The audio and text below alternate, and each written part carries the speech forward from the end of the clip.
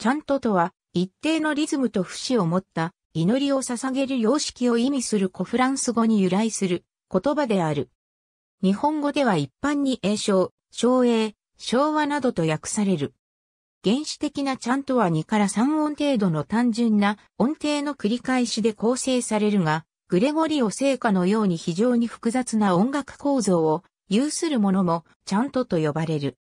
世界各地に様々な形のチャントが存在し、それぞれの国や地域独特の音階や音楽の源流となっている。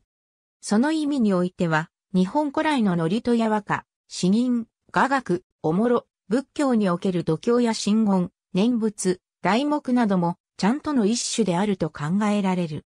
フラで用いられるハワイアンチャントなどが知られるほか、チアリーディングで声を合わせて反復される掛け声、スポーツ全般における応援歌のこともちゃんとと呼ばれている。